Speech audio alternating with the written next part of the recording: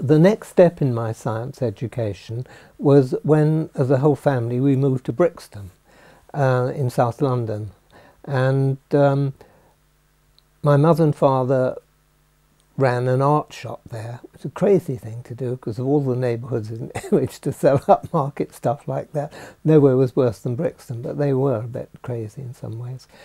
And uh, my mother was a great reader, and she took me along when I was about seven years old to the Brixton Library. And uh, I used to pick up books, at first they're on science fiction and that kind of thing, like H.G. Wells and Jules Verne and so on. But soon I moved on to hard stuff. I discovered they had a basement in the library which was full of textbooks on science. And uh, by the time I was eight, I was avidly reading Wade's Organic Chemistry, um, Jeans, Astronomy and Cosmogony, and uh, Soddy's The Discovery of Radium. And uh, for biology, I, uh, my favourite was J.B.S. Haldane, especially the experiments he did on himself.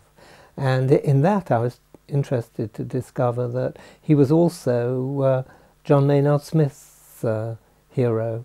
Uh, Maynard Smith was lucky enough to go to work with him, but all I had was his books, which were a wonderful inspiration. But all of that reading turned me on to science and gave me a, a, kind of grounding right the way across without any disciplinary barriers.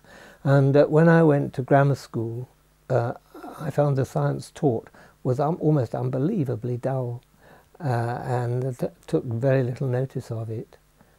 And that kind of started me out uh, in, in, science, and I kept an interest in it. And I think you've got to have that. You've got to be turned on to something if it's going to be your life's work.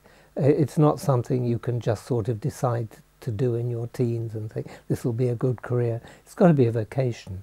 And uh, when I was young, I wanted nothing more than to be able to work in a lab uh, for the rest of my life. That was my going to be my life. I was lucky because my parents were fairly poor. Their, their art shop completely collapsed in the Depression, and there's no way uh, they could afford to have me go to university. Uh, it wasn't a matter of getting a, a, a, scholarship there or a grant to go to university. It was a matter they needed my income when I left school uh, uh, to support the family. And so I got a job as a technician uh, for a firm of consultants in London. And I was very lucky. Uh, it was run by um, a man who looked a bit like Mr. Pickwick. He was rather plump and very amiable and affable. And uh, he spoke with an accent like the old actor George Sanders. I don't know whether you can remember him. Very British upper class kind of accent, very plummy. And, uh, but he was a wonderful teacher. And he taught me that science is really serious. That if you're doing analyses and they actually what what they worked for was the was the photographic industry. They covered all aspects from the gelatin used to make the film to the dyes used for color photography and so on, right the way across the board. And they took on odd jobs like making fingerprint powders for Scotland Yard and so on. Um, and anyway, he taught me that I must get all the analyses I did for him absolutely right. Uh, there was to be no fudging, uh, no halfway. And if I was uncertain, I was just to tell him because that was okay. If, you, if I thought I'd made a mistake, that didn't matter. The worst thing I could do would be to put in a false answer. And after months and months of training, I began to realize how right he was.